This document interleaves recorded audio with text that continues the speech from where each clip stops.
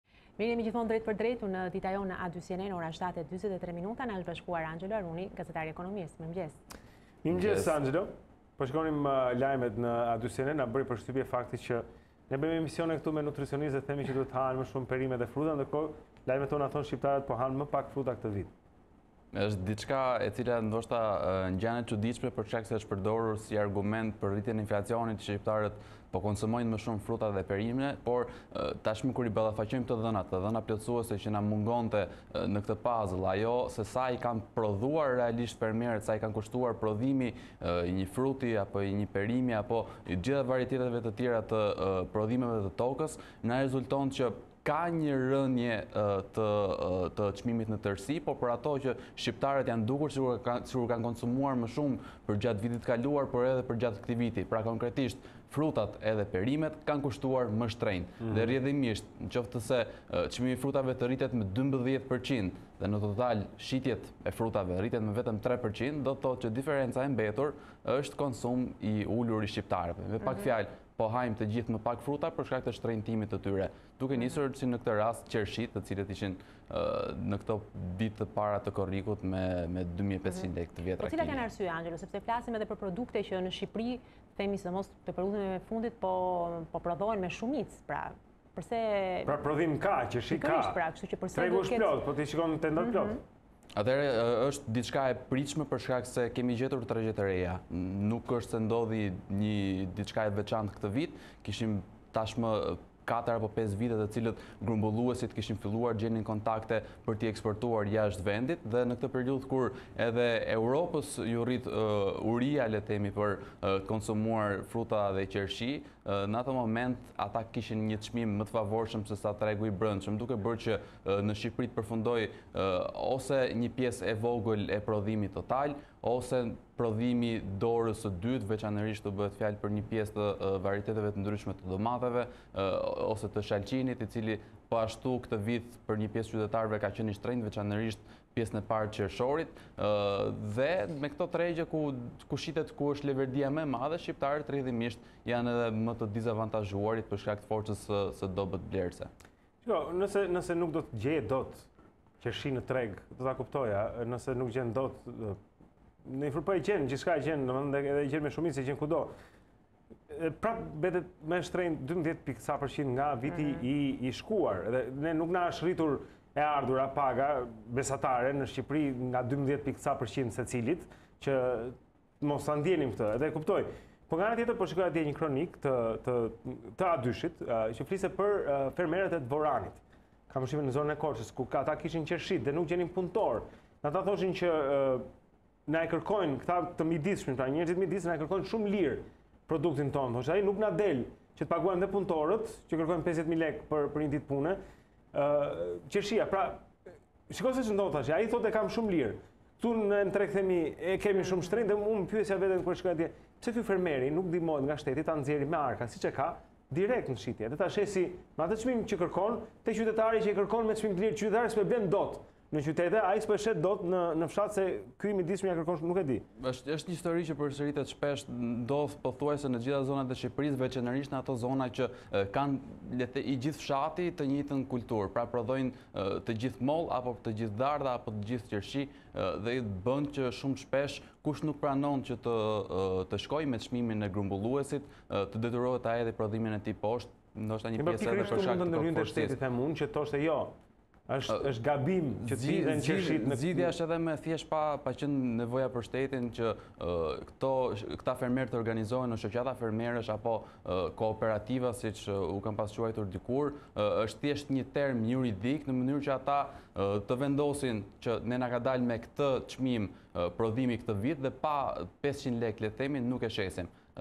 Bëhet kjo forcë negociuese në çmim që më pas ata i mundëson që mos ta hedhin poshtë prodhimin. Janë të dobët, pra siç thotë Skënderbeu, po, pra, shkopin që thyhen kollaj. Dhe janë interesante në fakt dhe pikërisht shifrat që ka nxjerrë Instat, e thamë pra pak më herët, me 12.7% është shtrenjtuar pra prodhimi i frutave. Pothuajse 13% është shumë. Më lirë kanë kushtuar vetëm ullinjtë për shkak të mbiprodhimit dhe patatet, por me një ndikim shumë të vogël kjo në xhepat e konsumatorëve, natyrisht.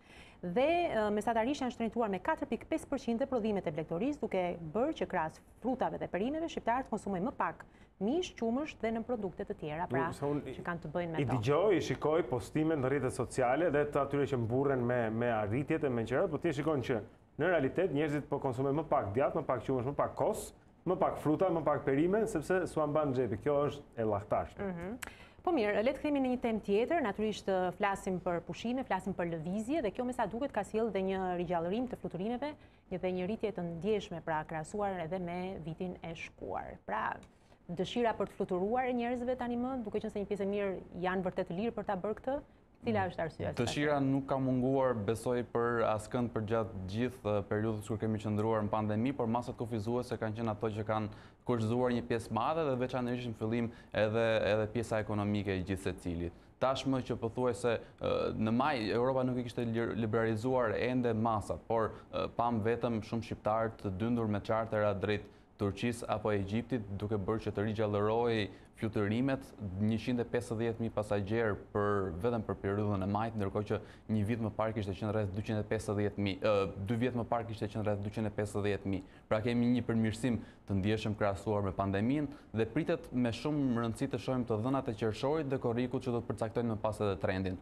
Së fundmi ka pasur një studim nga Eurocontrol, e cila thoshte që deri në dhjetor do të rikthehet tetëdhjetë e gjashtë për qind e gjithë trafikut ajror, po ashtu me të edhe pasagjerët. Pra, është një lajm i mirë për ata që duan të udhëtojnë, që mund të jenë të varur nga biletat low cost, të cilat duket se do të vazhdojnë pavarësisht se kemi pesë linja ajrore më pak në Shqipëri përgjatë dy viteve të fundit, por nga ana tjetër është një lajm i mirë edhe për këto projektet e mëdha të Shqipërisë si aeroporti i Kukësit apo aeroporti i Vlorës të cilët në një periudhë pandemie pa fluturime, pa pasagjerë, pa linja të forta ajrore, sigurisht që do ta kishin të vështirë të vazhdonin planin e tyre të biznesit. Kjo automatikisht duke patur parasysh pra këtë fakt që fluturimet janë shtuar, hamendësohet që ndoshta dhe çmimi i biletave do të do të bie, por në fakt mos gaboj kemi folur bashkë kemi kemi diskutuar këtë gjë që po ndodh e kundërta. Ishte në fakt një dyndje momentale në në në internet e gjithë shqiptarëve në momentin që u mhm. rekomandua që Europa apo Bashkimi Evropian të hapte kufijtë për Shqipërinë, Të gjithë në internet duke prenotuar bileta bëjnë që sistemi automatikisht të gjenerojë një çmim të lartë për shkak të për shkak se konsideron se ka një fluks. Sot, për shembull, në qoftë se do të udhëtosh në mes të gushtit në drejtim të Italisë e gjen shumë herë më lirë sesa ç'do ta bëje në vitin 2019 apo në vitin 2018 për shkak se dinamika dhe konkurrenca e fortë midis linjave ajrore tashmë edhe në Shqipëri ka bërë që të ulen çmimet. Konkretisht Një biletë vajtje-ardhje kudo në Itali mund ta gjesh me më pak se nëntëdhjetë euro. Vajtja kushton edhe më lirë, vetëm pesëmbëdhjetë euro me linjat ultra low cost, por kthimi pastaj është disi më problematik. Interesant ky fakt. Kthimi është me duar në xhep. Ndonjëherë këto ultra low cost këto probleme kanë, po shikoj pak disa nga kushtet do të ishe nomad fare. As valixhe teke nuk bëhet fjalë, domethënë vetëm Një gjë në shpinë po. dhe... Ai low cost-i ka ca penalizime dhe ka stekë. Për kangur, domethënë, ta kesh xhepin, ta kesh xhepin vetë. Nejse, ehm, ecim më tutje dhe shikojmë pak, pra, se po flisim për, për, për industrinë e, e fluturimeve në përgjithësi dhe se si kjo ndikon. Po mendoja për shembull për aeroportin e, e Stambollit, të riun. Uh, i cili u hap vetëm pak muaj para pandemisë e konkurronte me atë në Pekin si më i madhi në botë. Se ça i ndodh një një impianti si ai, e gjithë njerëzit që duhet të punojnë aty, ke parasysh dyqanet, e, mm -hmm. restorantet, e, linjat e security-t e këto, kur qiejt janë të heshtur. Edhe dhe se sa ndikohet ekonomia pastaj pastaj përreth.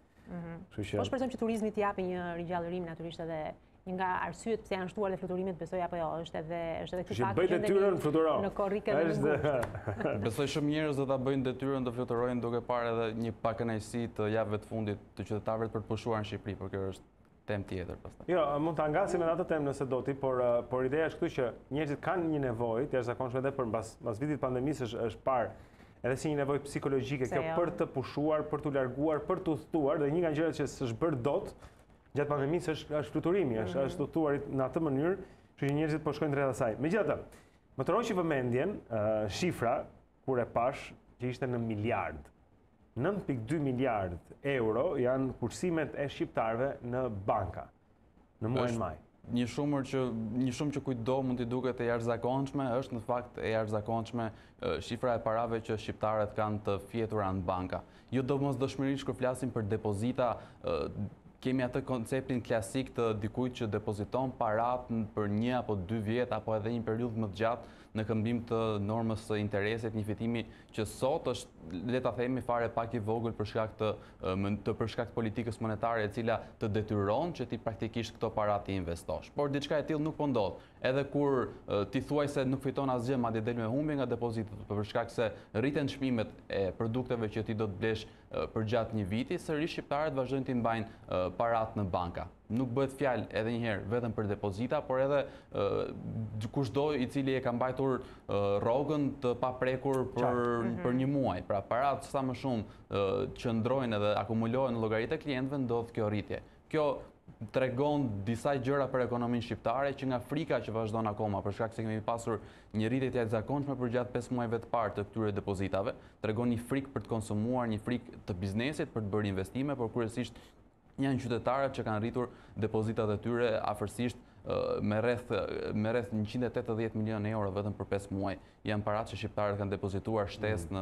në nëpër mhm. bankat e Shqipërisë. Kjo pjesë më duket interesante, pra interpretimi i i faktit që shqiptarët nuk po shpenzojnë, por po i mbajnë paratë stok, si thua, pra është për shkak të merakut, për shkak se ka një pasiguri që nesër po. mund të bëhet më keq.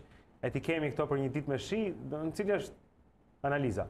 Atëherë janë dy grupe shqiptarësh, ata që kanë pasur të njëjtën sasi të ardhurash, të njëjtën vlerë të ardhurash përgjatë pandemisë dhe përgjatë këtyre muajve që nuk kanë pasur ku ku t'i shpenzojnë. E thamë që mhm. fluturimet kanë qenë të mbyllura, udhëtimet të mbyllura, një pjesë e restoranteve mbylleshin në orën 10, më pas në orën 11, pra nuk ishin apo nuk donin se ku të shpenzonin paratë, duke bërë që të, të rritej numri i depozitave dhe kemi sigurisht edhe shqiptarët e tjerë që kanë humbur vendet e punës, që kanë më pak të ardhura, është rritur pragu i varfërisë me rreth 7 pikë përqindje, duke bërë që këtu të përfshihen automatikisht dhjetëra në mos qindra mijëra shqiptarë brenda një viti, por janë dy ekstremet që përplasen në këtë moment. Ata që kanë edhe nuk i prishin dhe ata që nuk kanë asgjë dhe rrjedhimisht prapë nuk prishin. Mhm, dhe po duke bërë që në fund para nuk prish askush. Edhe këtë grafik Angelo për ta komentuar dhe bashkë, është totali i depozitave duke krahasuar nga 2017 deri në maj të 2021. Shikojmë natyrisht një rritje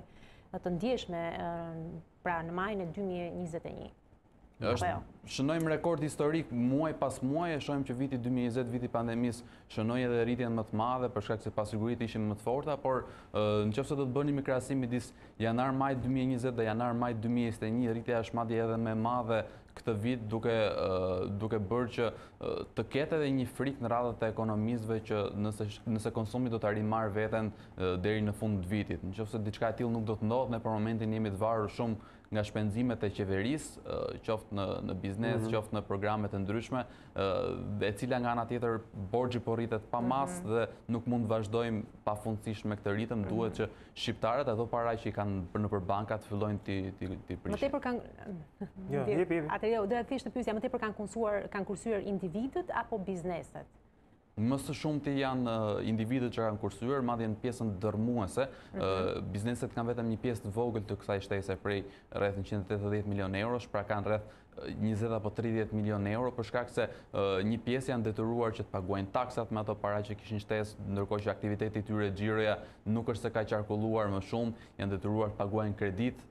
një pjesë e bizneseve dhe përsërish fakti që kemi një rritje depozitave edhe nga biznesi është një është një dukuri e cila tregon që nuk është as ai gati për t'u rimëkëmbur, për të zhvilluar planet e tyre, për të përshtatur teknologji të reja në mënyrë që tashmë kjo botë ku ne jetojmë me këto ndryshime që kërkon, t'i gjejë më gati dhe mos mbetemi si mhm. ato që quhen zombie jobs apo punë të vdekura, biznese të vdekura që thjesht presin fundin e tyre. Qartë. Uh, Dakor. Zombi, që në mëngjes dëgjoj. Uh, kemi 30 sekonda, ndoshta. Ëh, mm -hmm. uh, dhe përmende diçka për turizmin dhe një farë pakënaqësie të brendshme që po i çon njerëzit të kërkojnë oferta jashtë, çfarë ishte ajo? Atëherë është më se e kuptueshme, shumë njerëz kanë zgjedhur që të pushojnë jashtë këtë vit të bojkotojnë më saktë vendin. Kemi parë lajmet e shezlongeve, kemi parë se si zihen, kemi parë lajmet e çmimeve se si rriten në mënyrë pa kriter, sot të blesh apo të përnotosh një shtëpi në zona si Golemi apo Shëngjini është më e kushtueshme se sa të marrësh paketa në Budva apo në Turqi dhe rrjedhimisht kjo pakënaqësi që akumulohet tregon apo po i shtyn shqiptarët drejt drejt pushimeve jashtë. Mhm. Mirë, Anxhelo Haruni, zonja e zotërinj, me ne të martave për të folur për çështje të ekonomisë. Anxhelo, shumë faleminderit. Faleminderit, Anxhelo.